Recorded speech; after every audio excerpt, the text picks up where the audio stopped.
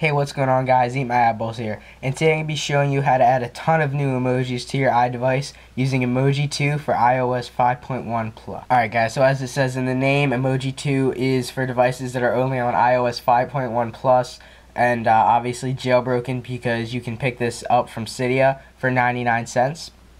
So once you've got that downloaded, basically you're going to want to go into settings and scroll on down here and you'll see emoji 2 and then uh, basically you, the way you add it is a bit different than you add the normal emoji keyboard that you download from the app store that comes like pre-installed with ios 5 uh, you're going to want to do change form and basically you set it up for whichever you want to set it to. I doesn't really matter. I just have it set for catalan or whatever. And um, after you change you just tap that.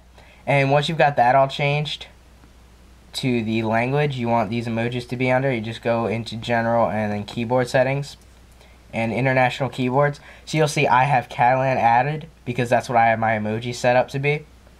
So basically that keyboard is now my extra emoji keyboard. So I've got that all set up to be my extra emoji keyboard. I had into just messages or basically any app that you use your keyboard in. And uh, you'll see that I've got an iMessage composed here. And here are all my normal emojis that can be seen just on any device, uh, any iOS and um, just the normal ones.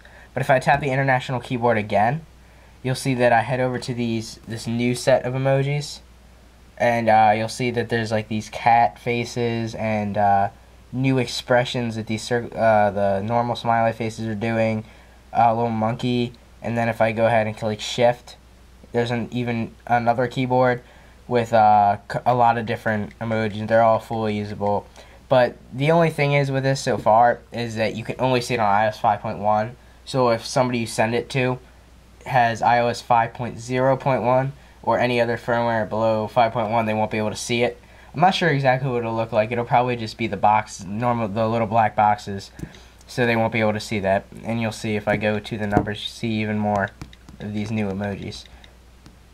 So, guys, again, this tweak is very cool because it opens up a whole new world of new emojis. You can pick it up from Cydia for 99 cents, and that is it. Thanks for watching.